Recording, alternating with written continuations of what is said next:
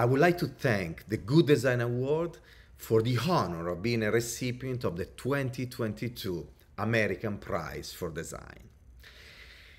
This recognition goes to me, but mostly to my design team spread all around the world, and to PepsiCo that has empowered all of us designers and our partners in marketing, R&D, and other functions to leverage design and design thinking as a driver of cultural change and as an engine for human-centered innovation and brand building.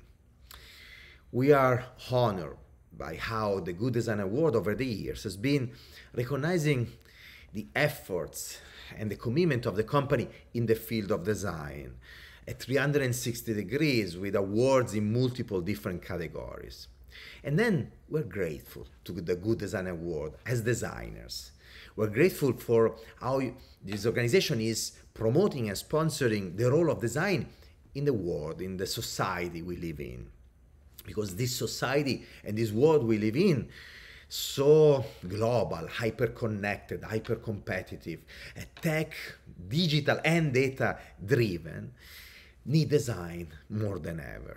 Design as a driver of competitive advantage and growth, business growth, but mostly design because of its role in the society. Design as a driver uh, to build a better, more human society and a more sustainable and healthy planet for all of us. So thank you on my behalf, on the one of my teams, on the one of PepsiCo, and then thank you on behalf of this, the entire design community.